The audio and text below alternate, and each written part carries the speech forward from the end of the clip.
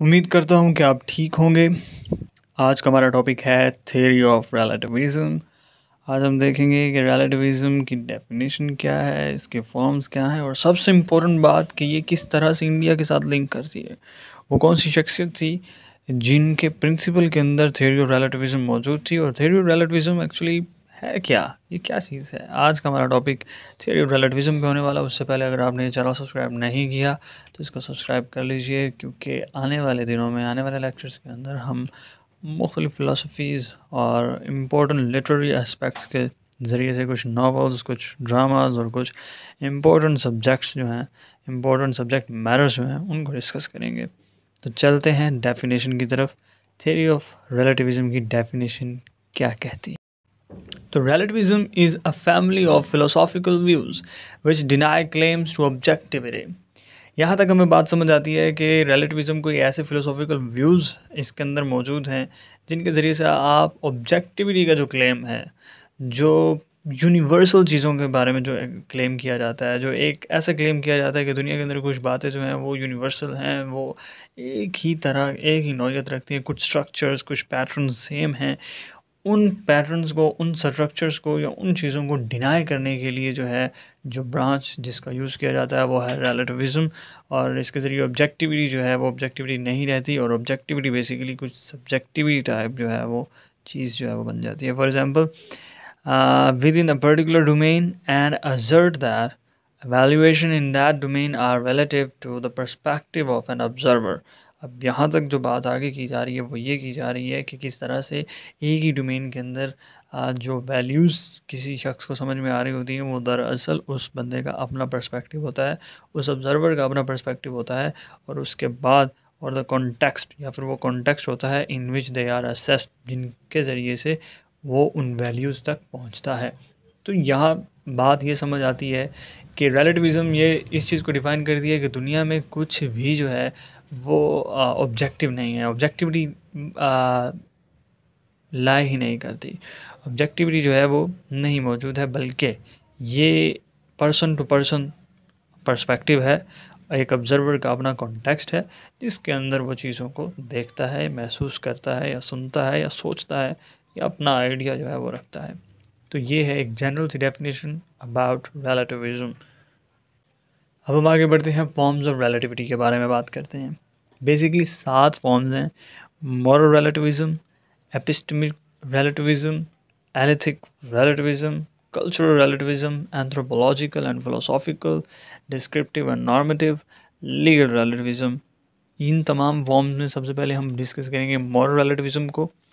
Moral relativism की definition देखिए। Moral relativism और इथिकल रिलेटिविज़म बेसिकली आप लोगों ने देखा होगा कि हमारी सोसाइटी के अंदर तकरीबन हर एक सोसाइटी का एक गुड होता है और एक एबल होता है।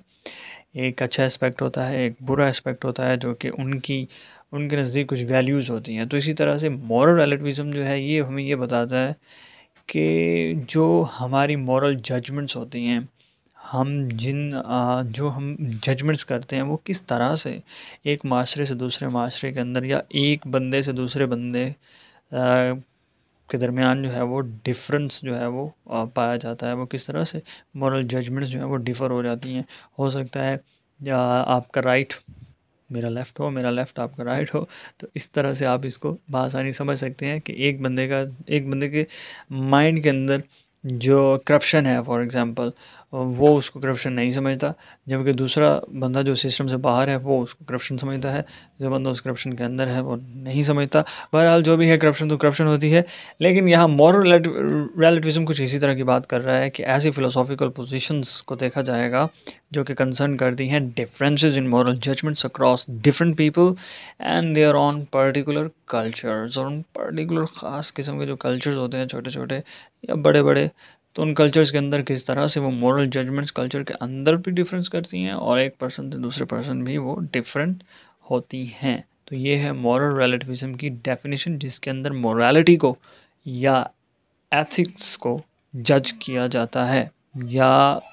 उन वेज को जज किया जाता है जिस वेज पर आप मोरालिटी और रिलेटिव और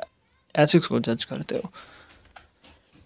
तो हिस्ट्री की बात करते हैं। हिस्ट्री स्टार्ट होती है प्रिंसिपल ऑफ़ महावीरा से। जिन्होंने ये स्टेटमेंट दी कि truth and reality are perceive differently from diverse point of views कि देखें भाई, एक ही सच है, एक ही हकीकत है, एक ही ख़बर है, लेकिन सुनने वाला, देखने वाला, या जिस पर वो गुज़री, उन तीनों के पॉइंट ऑफ़ व्यू में फ़र्क पाया जाएगा। तो इस तरह से वो ये कहते हैं कि रियलिटी और ट्रूथ वो एक सिंगल पॉइंट ऑफ़ व्यू है, ना कि कंप्लीट ट्रूथ है। तो ये फ़र्क है एक ट्रूथ में और एक point of view single point of view में और मॉरल रिलेटिविज्म जो है वो पॉइंट ऑफ़ व्यू जो ट्रूथ है उसको पॉइंट ऑफ़ व्यू में कन्वर्ट करने में कामयाब हो जाता है। वो कैसे? वो इस तरह से क्योंकि आ, कोई भी शख्सियत जो है जब वो किसी भी ट्रूथ को परसीव करती है तो वो जब उसको बयान करती है तो बयान जब वो करेगी तो उसके अंदर उसकी सब्जेक्टिविटी जो है वो शामिल हो जाएगी और वो ट्रूथ ट्रूथ नहीं रहेगा, बल्कि वो क्या बन जाएगा? एक सिंगल पॉइंट ऑफ़ व्यू ऐसा कहना था प्रिंसिपल ऑफ़ महावीरा का। आगे बढ़ते हैं ग्रीक फिलोसोफर्स हैं, जिनका नाम है प्रोटैगोरस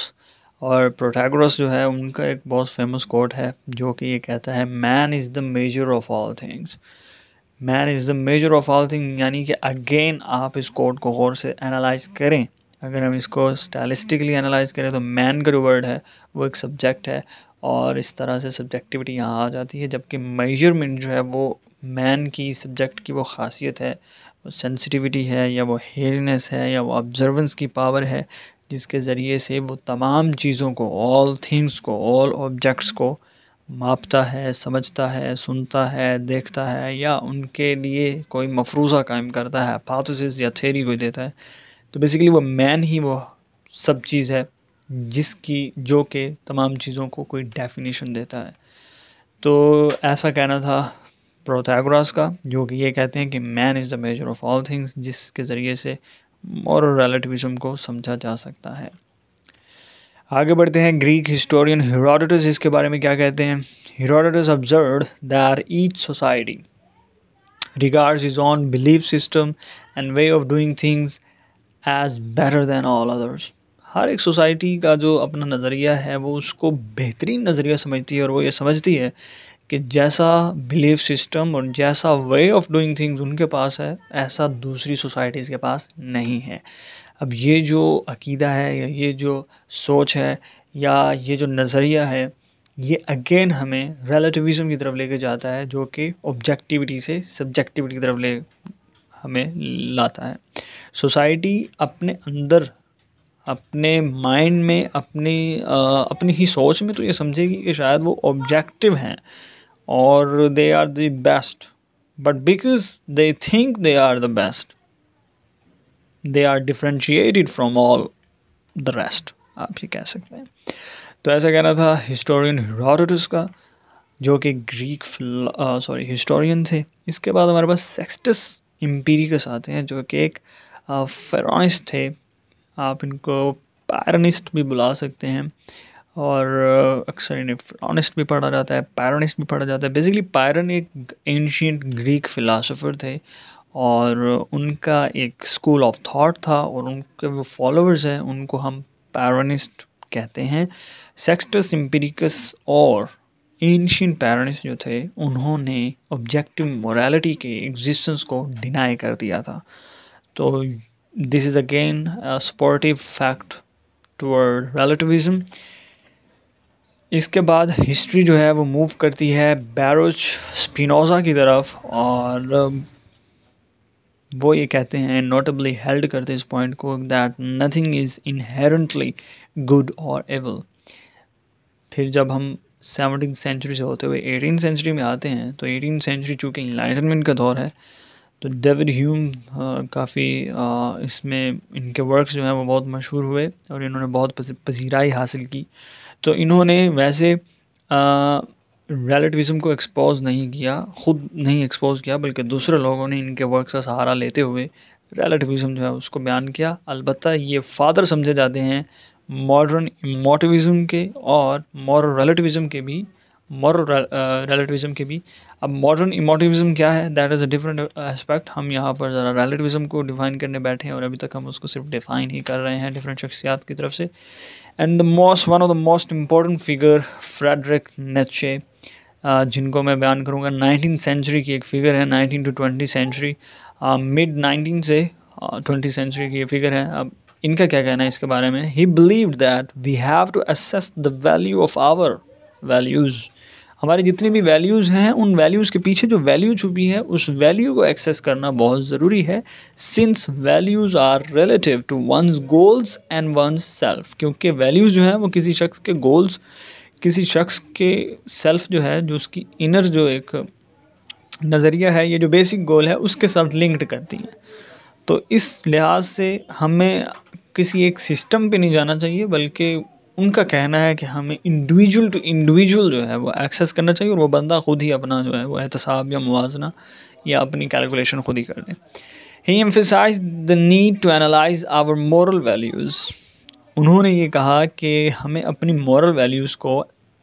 एनालाइज करना चाहिए and how much impact they may have on us और ये भी देखना चाहिए कि हम पर उनका कितना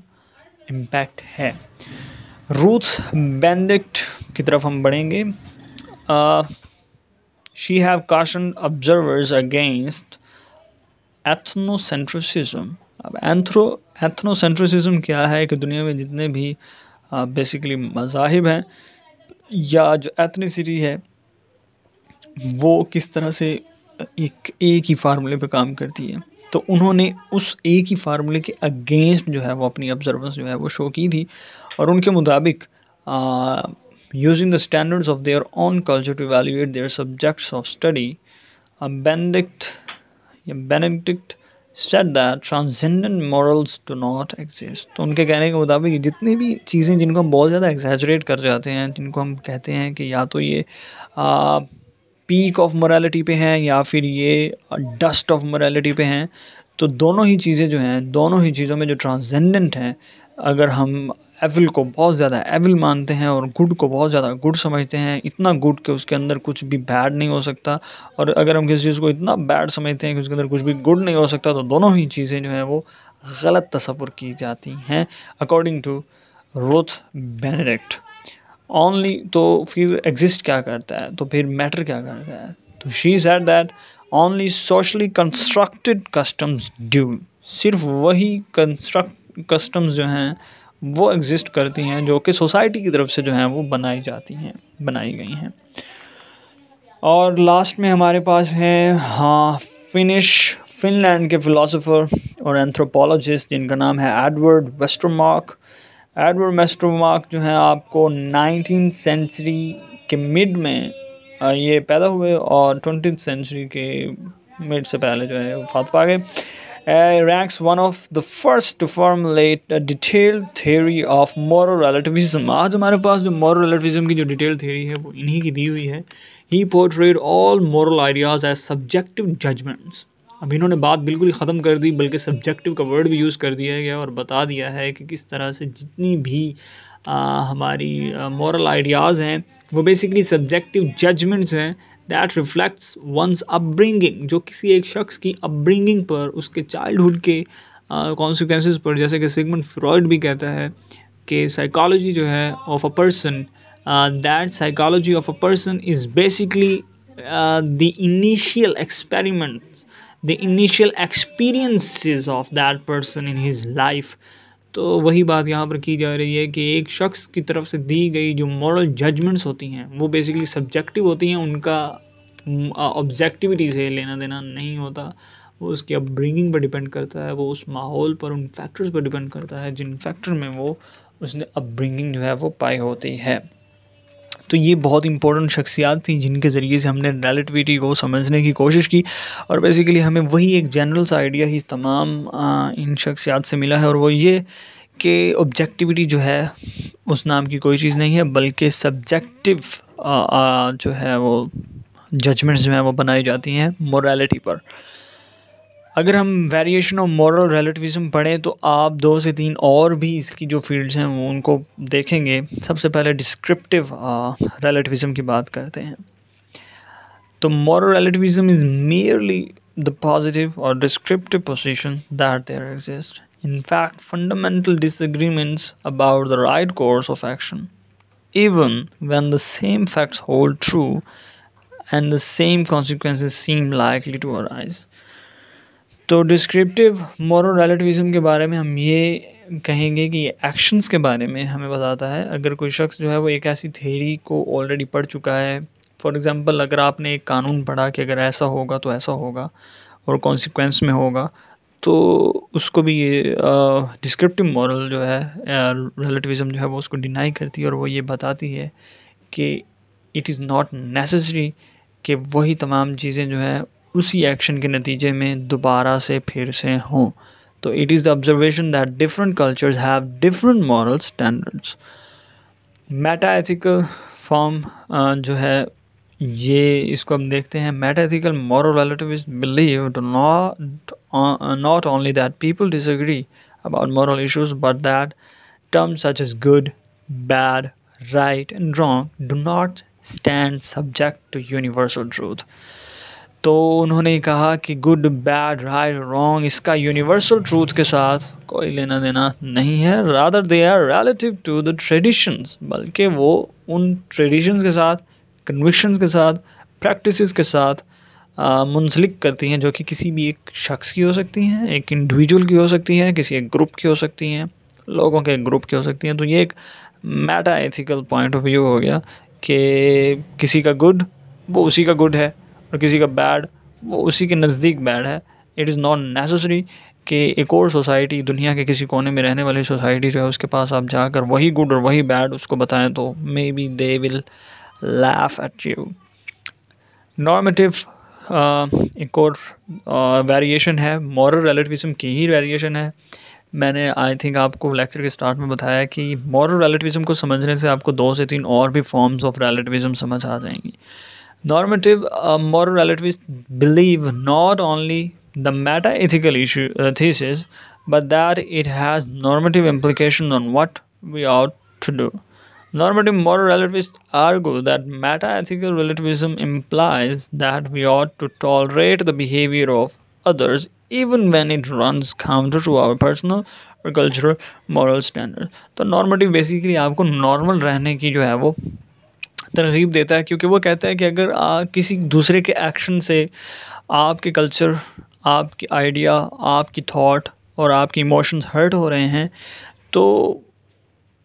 आपको बेयर करना पड़ेगा आपको सेक्रीफाइस करना पड़ेगा क्योंकि वो उसके कल्चर के नज़दीक उसके आइडिया के नज़दीक उसकी थॉट के नज़दीक वो चीज़ जो है वो सही है।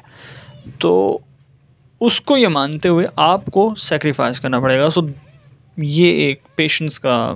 आप कह लीजिए नॉर्मेटिव मॉरल वैल्यूज़ आपको ये सिखाती हैं।